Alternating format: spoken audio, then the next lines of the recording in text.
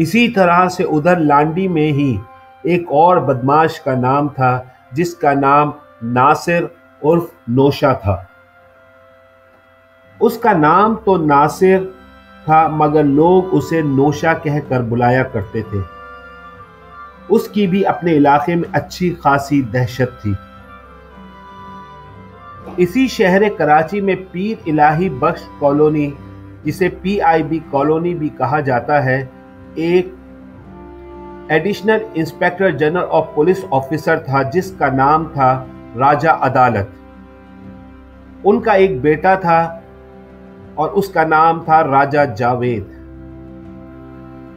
AIG राजा अदालत ने अपने बेटे राजा जावेद को पुलिस में भर्ती करवाया था।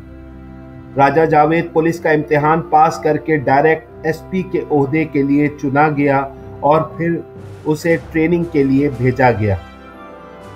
इसी ट्रेनिंग के दौरान राजा जावेद का किसी से झगड़ा हो गया और उसने कत्ल कर दिया। फिर उसे पुलिस से बरतरफ कर दिया गया। मगर वो अपने बाप के असर रसूख की वजह से गिरफ़्तार होने के बावजूद जल्द जेल से बाहर आ गया।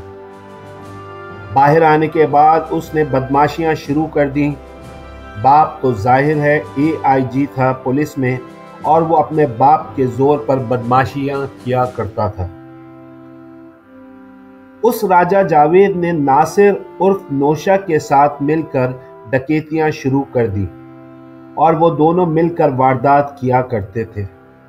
और यह उनकी बेहयाई थी, बेगैरती थी कि जहाँ वो डकैती करते थे, अगर वहाँ उन्हें कोई लड़की या औरत नज़र आती थी तो वो उन खवातीन का रेप भी किया करते थे।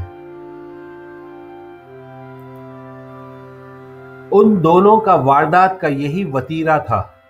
फिर एक वक्त आया कि वो राजा जावेद और नासिर उर्फ़ नोशा गिरफ़्तार हो गए। उन्हें कराची सेंट्रल जेल से सखर जेल मुंतकिल किया गया। सखर जेल में ही उनके खिलाफ केस चलता रहा और उन दोनों को सखर जेल में फांसी की सजा सुनाई गई। हालाँकि राजा जावेद के बाप एआईजी राजा अदालत ने बड़ी कोशिश की कि किसी तरह से राजा जावेद बच जाए, लेकिन उनकी सारी अपीलें मुस्तरद हो गई और सखर जेल में ही राजा जावेद और नोशा को फांसी दे दी गई। बाद में उनकी लाशें कराची लाई गईं और उन्हें कराची के ईसा नगरी कब्रस्तान में दफना दिया गया।